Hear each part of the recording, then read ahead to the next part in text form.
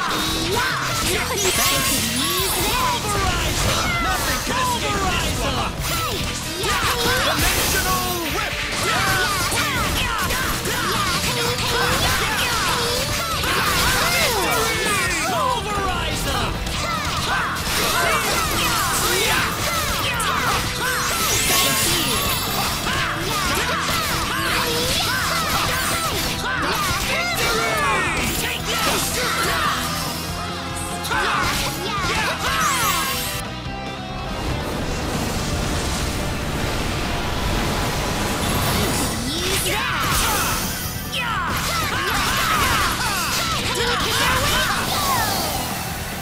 Not too that shabby. was pretty interesting.